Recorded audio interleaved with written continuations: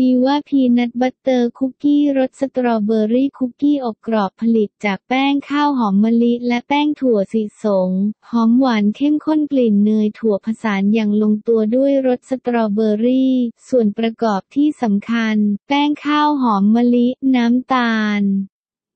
เนยเค็ม แป้งถั่วลิสง ผงสตรอเบอรี่ ไข่ไก่ ผงฟูและกลิ่นพีนัทบัตเตอร์